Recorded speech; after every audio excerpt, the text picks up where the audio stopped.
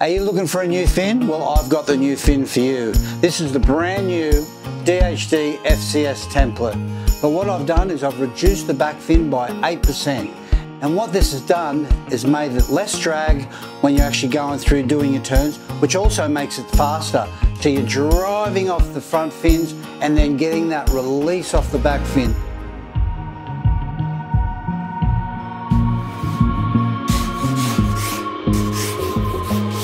It takes over 12 months to make a change on a surfboard design, also a fin. The boards are getting a lot flatter, some have got more concave, some have got wide tails, and a lot of people are riding round tails these days.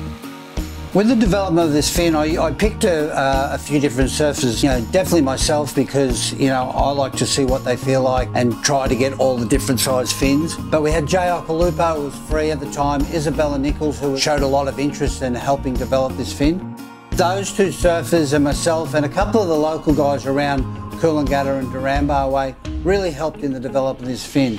After we finished the development, Connor O'Leary, Liam O'Brien, they all jumped on board and they think this fin's going to be incredible, uh, especially not just here but also on those tighter tail boards in Hawaii.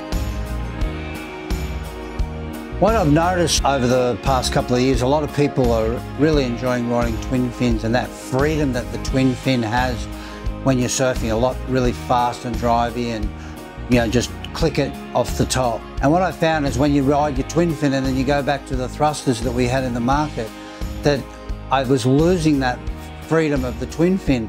So I thought, let's just reduce the size of the back fin. And by doing that and reducing it by 8%, it's given me that little bit of freedom like a twin fin, but it's still got the hold. And I've, I've really enjoyed that when I go from a twin fin back to a thruster, that I have that, that release in the, in the tail. The movement that you can do when you're surfing, you still get that full drive off the bottom, uh, like you know a Mick Fanning fin. But when you come through the top and you get hitting the top part of the lip, you get that little bit of release. And that release is sort of we're not all pro surfers where they can push and get the release. So just for the average guy and some of the people with not as much power, they get that release through that turn and then they set themselves up for down the line. Through the cutbacks, you come right around and it's hold, hold, hold.